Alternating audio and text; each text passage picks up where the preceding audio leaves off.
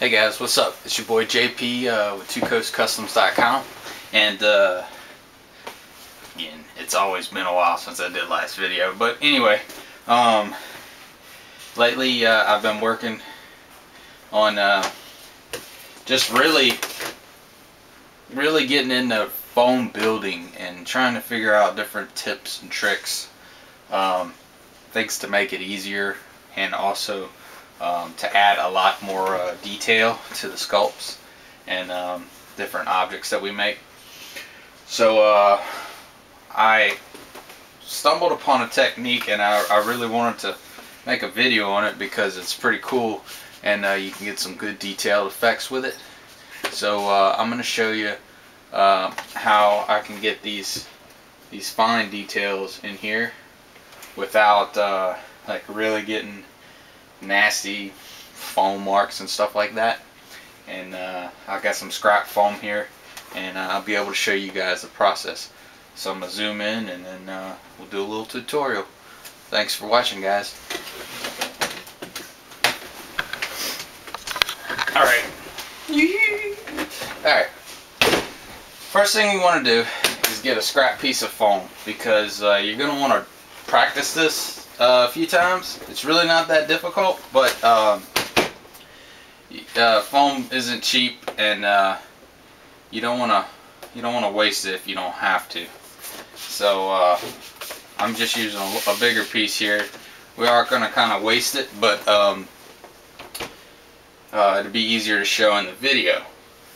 Alright, now uh, the details on the shoulder there um,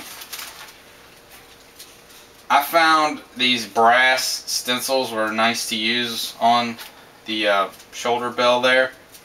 Uh, you don't need brass stencils. You don't need stencils at all really, but I wanted a, uh, a uniform look to it because this is going to be molded um, and cast in uh, hard material. Um, but uh, you can use different types of stencils. Um, I like these filigrees. I found these at Hobby Lobby and they're just a few bucks a piece so worth having. Uh, gives me ideas of how I might like to make a pattern and such. But um, just to give you an example we will uh, we'll use this uh, pattern here. Okay. Um, now way I like to do this is trace it on the foam first. Um, so let's just go ahead and do that. Uh, it's pretty uh, pretty straightforward. I use a pencil. Uh, just lightly run around it. Don't push it real hard. Uh, you can if you want, but it's not a big deal. So.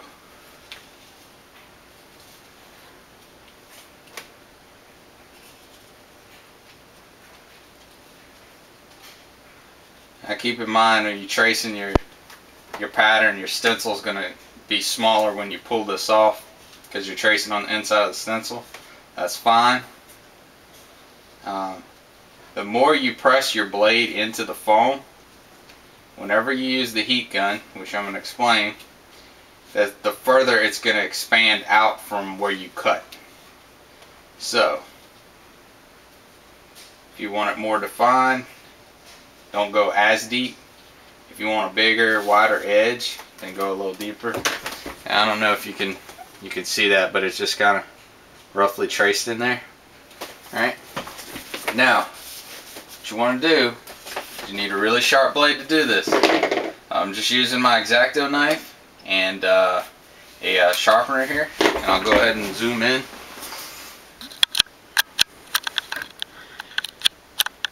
You can kind of see a little better. Alright, uh, I suggest sharpen this very often as you go. Mine has a coarse and a fine. I use the coarse and then the, the fine mostly. So you're using mostly this tip so you need it really sharp. So anyway, we're just going to do the triangles. Now keep in mind, whenever you cut into this thing, get your lines right because when you hit it with the heat gun, it's going to expand however you cut the lines. So that's why I say use a, a practice piece.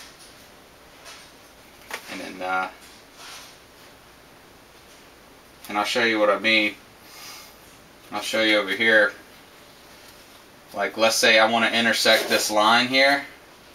I would rather start at this line and come out. That way my corner is, is 90 degrees as opposed to come to this line like this because if I come over and pass it, I'll show you what it's going to do with the heat gun. It's not going to look as good. Alright, so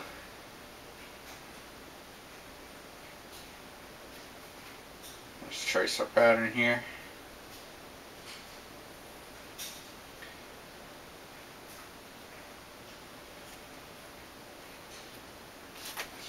And I feel my blade kind of dragging just a little bit, so I'll just make that point sharp again.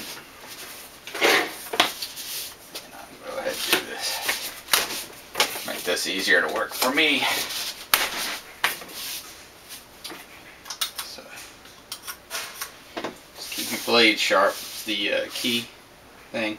Especially when you go uh, to these really round shapes. You really want your, your blade to slide through the foam. You really don't want to have to saw it. But when you get into these tight corners, I just go up and down and make sure I stay on that pattern. And uh, it usually comes out alright.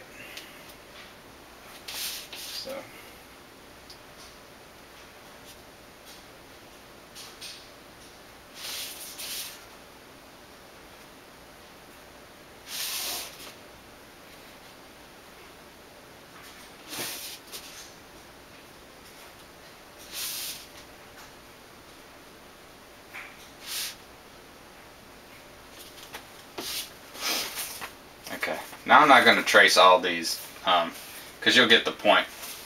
But uh, what we'll do is we'll make our own kind of design here. Let's say we just wanted to sketch something. Um,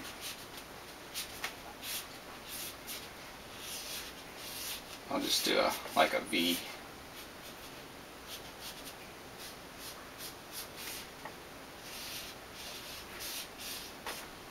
Okay. Another little trick here too is uh, if you cut at a deep angle, it'll give you another look as well. So I'll show you. I'm going to cut this at a 45 degree angle and go kind of deep. On uh, both sides here.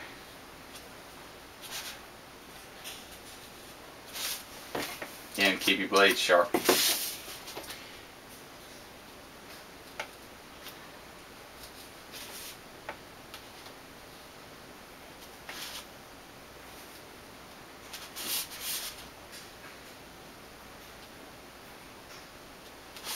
Like I said, play with this because the different amount of heat you use will make it look different and you'll see. So, now we got some of our shapes traced. I'm not going to trace all these you'll get the point. But anyway, take your heat gun and uh, don't put it on high. You don't want to burn this stuff up because multiple passes will make this look a little differently. So what we'll do is we'll put it on low Alright. And see our pattern here? Now we're just gonna kind of go back and forth over it. A few times you see it's getting a little more defined. That's because those voids are expanding. Okay. The more heat you put to it, the more they'll expand.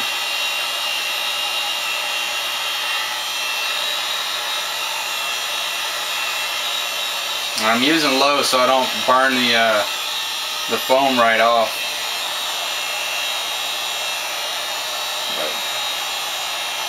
But more heat you put, the, the more defined it'll get. Now 45 degree cuts here, watch this.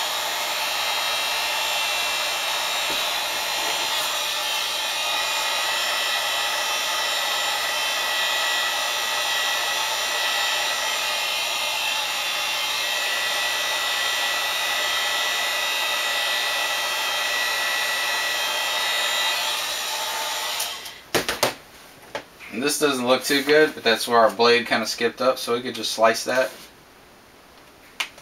Put the heat back to it.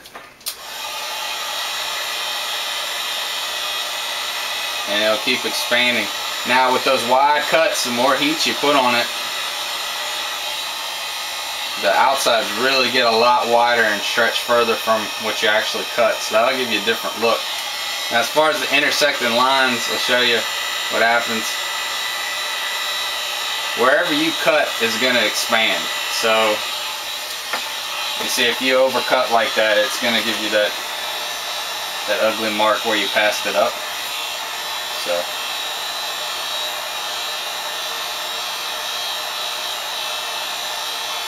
Anyway, I thought this was technique is really cool and it's helping me on my Tyrael armor I'm building.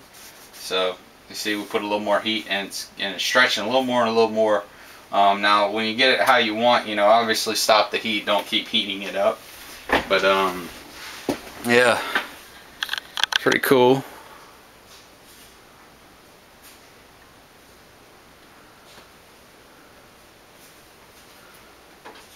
So. And then uh, obviously if uh, you want to see how it kind of looks, put your little paint on it. Dry brush a little gold. Just kind of show you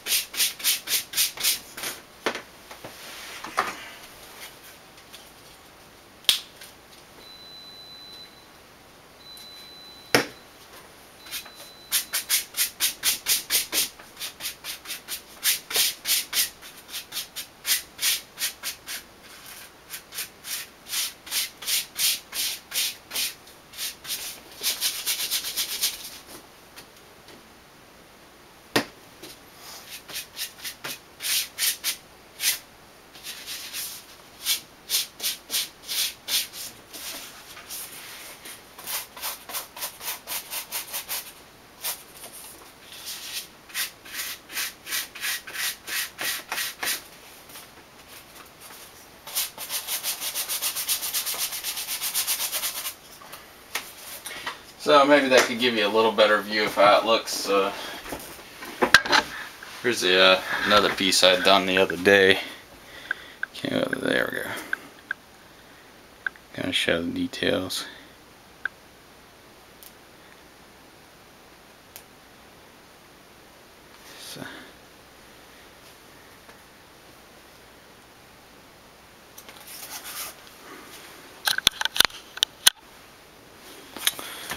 Camera almost makes it kind of look grainy.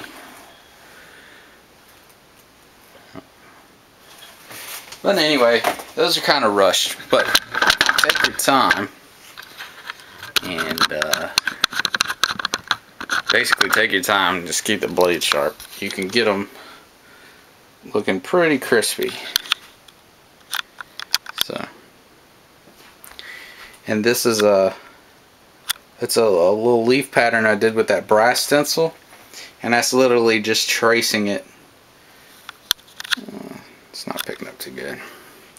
That's literally just kind of tracing it. And then uh, hitting it with the heat gun. It works pretty good. It's a little black spot because it got a little too hot right there. But it didn't change the texture. It just changed the color. So we're good. So...